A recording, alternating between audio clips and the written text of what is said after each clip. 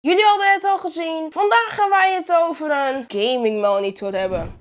Dit is de Acer Nitro KG2 75 Hz Full HD gaming monitor. Hij is om precies zijn 23,8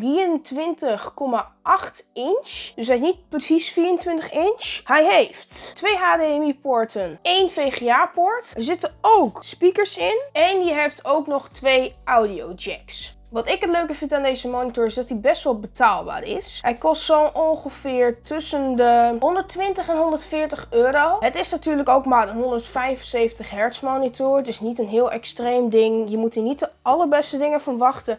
Maar al ben je gewoon van plan een beetje basic gaming te doen en niet al te veel te tryharden, dan moet deze de truc wel doen. Op de achterkant heb je drie verschillende knoppen. Je hebt een uitknop, je hebt drie verschillende knoppen om dingen te selecteren en je hebt een draaiknopje. Voor de rest heeft hij een verstelbare voet, dus je kan de monitor kantelen via de voet. Hij heeft ook hele dunne randjes, dus je hebt geen dikke randen om de monitor heen.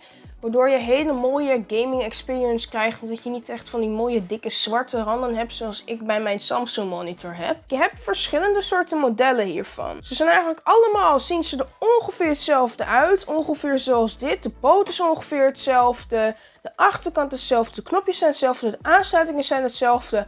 Alleen de specs zijn anders. Als je kijkt naar wat duurdere modellen, richting de 160 euro, kom je modellen tegen met betere kleurweergave, hoge refresh rate. Maar ze zien er wel exact hetzelfde uit. Ik moet ook zeggen dat ik deze gaming experience op deze monitor ook heel fijn vind. Je merkt niet superveel van de iets hogere refresh rate, maar er zit zeker wel een klein verschil in. Als jij een budget gaming monitor zoekt met redelijk algemeen goede specs, zou ik deze zeker aanraden. En dat was het dan voor deze video. Er zit een linkje in de beschrijving waar ik deze monitor gekocht heb. En dan zeg ik volg me op mijn Instagram, volg mijn tweede YouTube kanaal, abonneer, like, doe wat je wil. En uh, ja, joep.